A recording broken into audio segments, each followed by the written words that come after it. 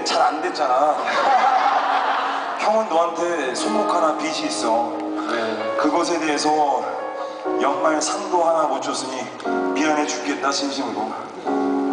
주든지. 네. 형도 참 표현을 못하는 성격이라 평소에 말도 없고 그렇지만 그렇다고 너한테 신경 안 쓰는 건 아니거든. 다만 그 간지러워서 좋아한다, 사랑한다 말까지 못하는 것 뿐이지. 연말이니까 특별히 얘기한다.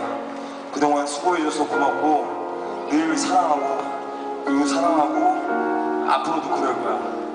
우리 몸이 1년간 수고했고 형 마음속의 대상은 너다. 와.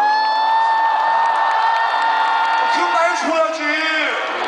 왜 마음속으로만 대상이야? 오늘 이 자리에 안 왔으면. 큰일 날 뻔했네요. 네. 어, 마음속에 대상이 몽인데 네, 우상은 제가 받았네요.